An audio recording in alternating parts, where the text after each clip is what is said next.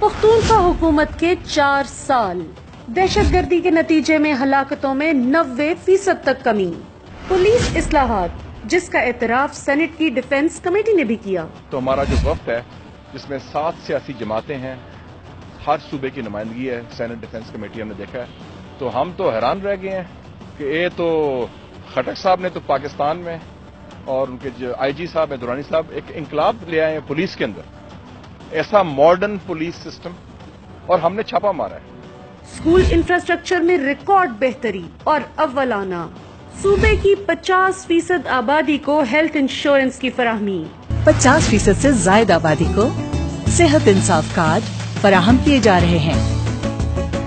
اب کسی بھی بیماری یا حادثے کی صورت میں منتخب کردہ سرکاری اور نجی ہسپتالوں میں فی خاندان سالانہ پانچ لاکھ چالیس ہزار روپے تک کے علاج معالجے کی سہولیات بالکل مفت فراہم کی جا رہی ہیں۔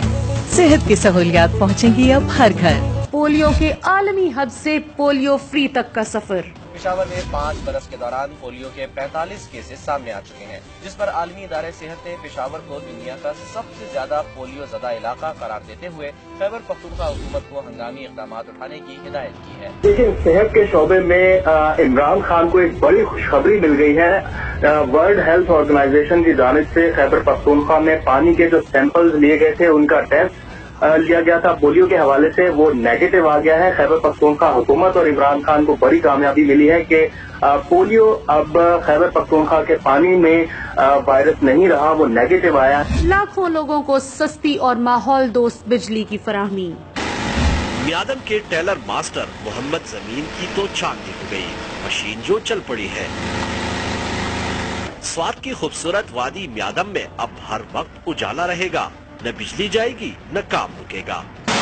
پہاڑ کے دامن میں قائم اس بجلی گھر سے فی یونٹ بجلی ملے گی، صرف چار روپے میں۔ بلین ٹری سونامی کے ذریعے ماحولیاتی تبدیلی کے خلاف جنگ اور لاکھوں روزگار کے مواقع۔ ساڑھے پانچ لاکھ مزدوروں اور نگہبانوں کو روزگار فراہم کرتا بلین ٹری منصوبہ۔ مایوسی کی دلدل میں دھسے زمینداروں کو بھی ایک ایسے منافع بخش کاروبار کا یقین دلا چکا ہے کہ جو نہ صرف حال بلکہ مستقبل تک کی نسلوں کو ان جنگلات کے سمر سے فیضیاب کرتا رہے گا۔ سیاحت میں ریکارڈ اضافہ۔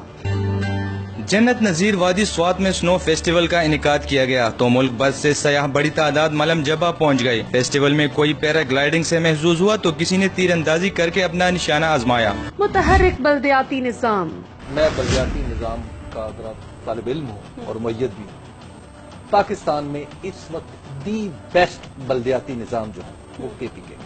شفاف اور corruption free mega infrastructure projects. اور یہ سب اس کے باوجود ہوا کہ پاکستان تحریک انصاف کی پہلی بار حکومت تھی اور وفاقی حکومت بالکل بھی مددگار نہیں تھی۔ یہ ہے تبدیلی جو اب انشاءاللہ پورے پاکستان میں لائیں گے۔